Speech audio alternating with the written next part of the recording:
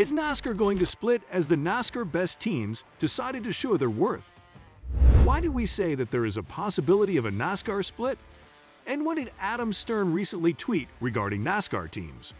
Those who are not up with the NASCAR updates must find it difficult to understand what is going on. Want to know? Then stay with us till the end. But before we begin, subscribe to our channel NASCAR Zone and hit the like button.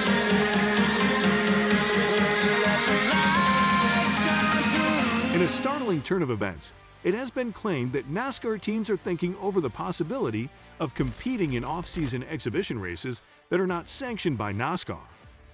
According to a report that was published on Tuesday by Adam Stern of Sports Business Journal, the Race Team Alliance, a coalition that includes the 36 NASCAR race teams with charters, has instructed the well-known marketing agency Wasserman to explore exhibition race opportunities, both domestically and internationally.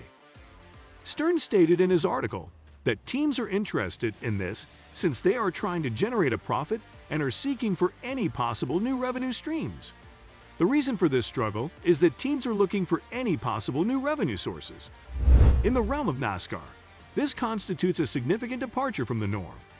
It has been outlawed for a very long time by the governing organization, which will be celebrating its 75th season in 2023 for drivers and teams to begin their very own racing series.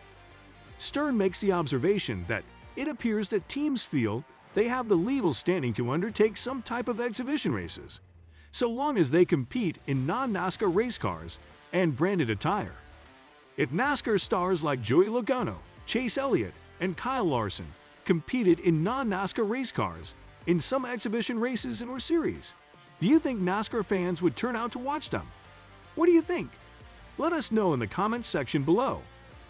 It looks like one idea could be a current version of the International Race of Champions, which was an exhibition series that began in the early 1970s with much excitement, but gradually suffered from low TV ratings and attendance, and ended in 2007 when it was discontinued.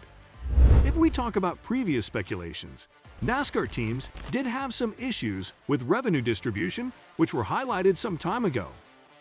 Under the radar conversations on the 2022 NASCAR Cup Series team's assigned budget have been taking place, but they have yielded little to no fruit in the direction of the athletes who compete on the track. Representatives from the team met with officials from the governing body to talk about the issue, which has been brought up in the past by a number of owner-operators in the sport, including Denny Hamlin and Brad Keselowski. Following the team's negotiation committee's submission of their proposal to the sport in June of this year, NASCAR addressed the meeting that took place over the weekend. The proposal was not reviewed until September last. In October, six members of the committee, including Roush Fenway, Keselowski Racing President Steve Newmark, Hendrick Motorsports co-owner and vice chairman Jeff Gordon, 23XI Racing co-owner Michael Jordan, his business partner Curtis Polk, and Joe Gibbs Racing President Dave Alpern spoke to the media about the proceedings for the same. The RTA group that met with the media today emphasized that they have a passion for the sport and that they have no intention of departing from NASCAR. Simply that the model in which 60 to 80 percentage points of a team's revenue come from sponsorship has to be altered. And that reducing expenses cannot be the primary solution to the problem. Representatives from multiple teams came together with the intention of maximizing profits for their organizations while simultaneously assisting NASCAR in the approaching reevaluation of the sport's television rights. This was the overarching objective that guided their efforts. The procedure that is scheduled to take place in 2025 will involve the governing body negotiating with the highest bidder for TV rights along with the charter allocations for the various teams competing in the sport.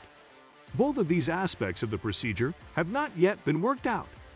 Michael Jordan's business partner, Curtis Polk, emphasized how the demands were far from being resolved on both sides after an already delayed answer from the sport. Polk was speaking after an already delayed reaction from the sport.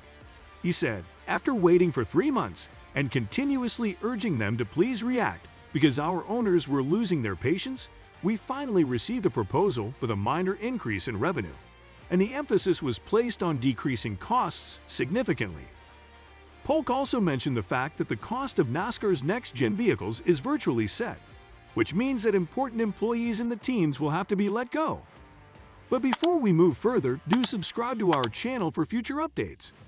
NASCAR is currently at a crucial stage in its development curve and has the aim of being a dominant force in sports on a worldwide scale. In the present day, NASCAR is competing against other major sports organizations such as the NBA, the NFL, and the MLB. However, in addition to these traditional competitors, it also faces competition from Formula One, which is a relatively new but very formidable opponent. Ever since Formula One began producing the documentary series Drive to Survive, in collaboration with Netflix, the sport has seen a surge in the interest all around the world.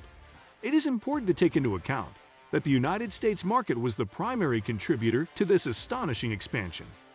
His fame in the United States has reached unprecedented heights, and as a result, we will hold a record number of races in the country in the following year. NASCAR intends to broaden its horizons in the near future. In order to combat this, NASCAR will need to devise novel strategies and approaches. A good example of this would be for teams to host their own exhibition matches during the off-season. The RTA is a separate organization from NASCAR that looks for ways for teams that are having trouble maintaining their financial footing to generate additional money. Because of an agreement with NASCAR, teams are not permitted to begin their own beginning series.